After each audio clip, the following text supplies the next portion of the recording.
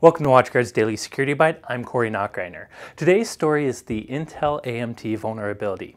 Before I start, do know that this story comes from the request of Murray. If you ever have a security story you're interested in, be sure to contact the Secplicity blog and we'll be sure to cover it if it's interesting.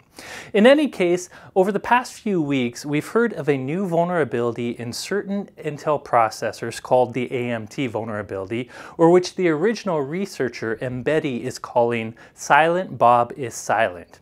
Now to start, if you don't know what AMT is, AMT stands for Active Management Technology, and it's a special load of firmware that's only available in certain Intel server processors.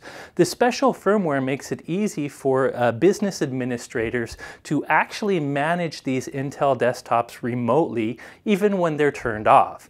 The big thing to know about this AMT technology is that it's not in all of Intel processors. Most consumer Intel PCs will not have this particular firmware uh, installed on it, and it only affects certain processors. So this issue primarily affects certain server-grade uh, Intel platforms out there that have specifically enabled the AMT or small business management technology.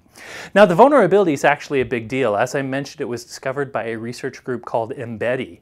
And basically, uh, AMT allows uh, remote administrators to actually manage desktops, directly manage the Intel CPU over the network on various ports.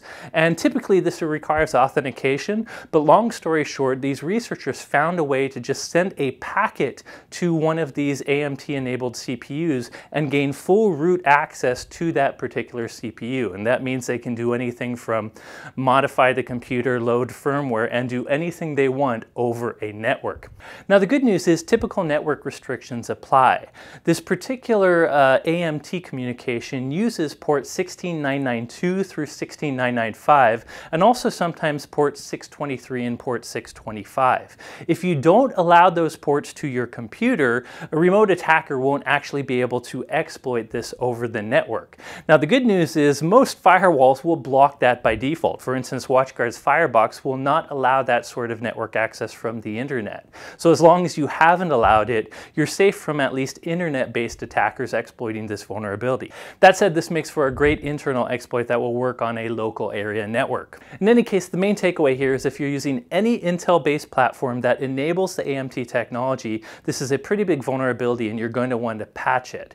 The hardest part of this vulnerability will be finding those platforms just because it doesn't affect every Intel product. It only affects certain server-based Intel processors, and not all of them actually enable AMT. A number of vendors that have affected servers include HP, Dell, Lenovo, and many others. And by the way, if you have any server that has the vPro tag, it is probably vulnerable to this.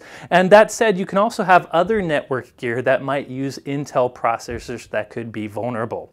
So that's really the hardest part here.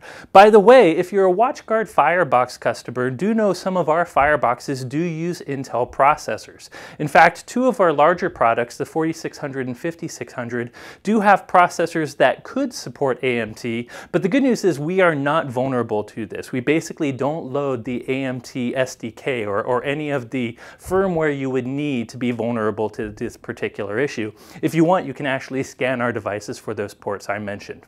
So practical takeaways. Check out some of the links I put in the blog post associated with this video to help you identify whether or not some of your products products are vulnerable to this particular AMT issue. By the way, Intel has released a network scanner that can actually scan your network looking for vulnerable appliances as well. On top of that, be sure to firewall these ports, 16992 through 16995, 623, and 625. There's no reason to allow internet users to access those ports, and you can also segment your network and firewall them internally. That will help for sure. In any case, interesting story. Hopefully you apply the firmware update as soon as you can. That's it for today's news. Thank you for watching.